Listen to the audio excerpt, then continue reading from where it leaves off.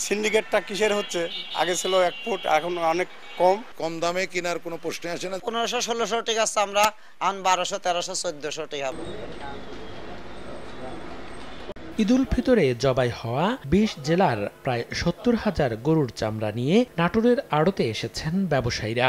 ঈদের পরপরই চামড়া আনা হলেও এখনও জমে ওঠেনি বেচাকেনা। ব্যবসায়ীরা জানান, এখনও নাটোরের আড়তে আসেনি কাঙ্ক্ষিত সংখ্যক ট্যানারি মালিক।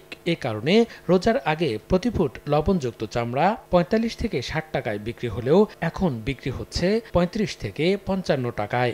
সিন্ডিকেটটা কিসের হচ্ছে? আগে ছিল এক ফুট, এখন অনেক কম। কেন কোথায় হচ্ছে আমরা জানি না। পনেরোশো ষোলোশো টাকা চামড়া আন বারোশো তেরোশো চোদ্দশো টাকা বুঝাচ্ছে তবে ট্যানারি মালিকদের প্রতিনিধিদের দাবি রোজার চেয়ে ঈদের পর বেশি দামে চামড়া কিনছেন তারা। কম দামে কেনার কোনো প্রশ্নে আসে না যেহেতু চামড়া অনেকটা চাহিদা সম্পন্ন হয়েছে আগামীতে কুরবানিতেও এই চামড়া এরকমই পর্যায়ে যাবে।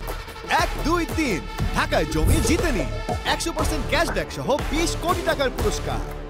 আড়তদারা জানান চীন নির্ভরতা কমিয়ে সরকার ইউরোপে রপ্তানির উদ্যোগ নিলে বর্তমান দামের চেয়ে দ্বিগুণ দামে চামড়া বিক্রি হবে।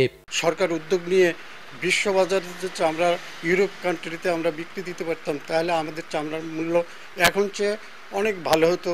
বিভিন্ন ট্যানারি মালিকরা নাটোর এসেছে নগর নগর টাকায় বেচা কেনা হচ্ছে। নাটোর শহরের চকবৈদ্যনাথ এলাকায় শতাধিক চামড়ার আড়ত থেকে প্রতি বছর প্রায় ছয় লাখ পিস গরুর চামড়া বিক্রি হয়, যার বাজার মূল্য প্রায় পাঁচশো কোটি টাকা।